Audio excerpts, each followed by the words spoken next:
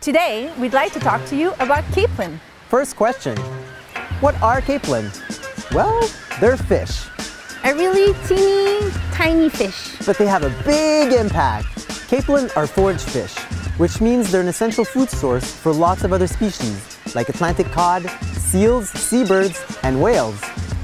The more we know about the health of capelin stocks in our oceans, the more we can learn about the future of the larger marine ecosystem.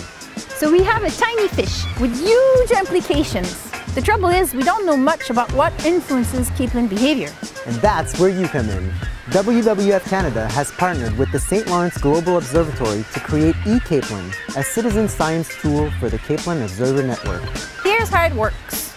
All along the St. Lawrence and across the Atlantic provinces, capelin come to shore in large numbers to spawn between April and July.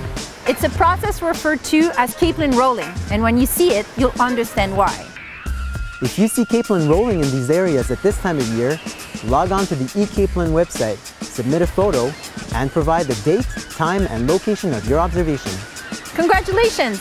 You've just become a citizen scientist contributing important data to the health of our oceans.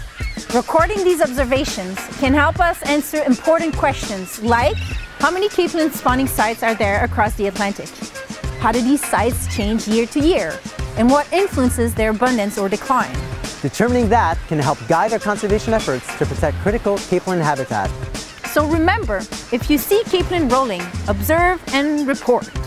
It's a small action with big implications for the health of our marine ecosystem.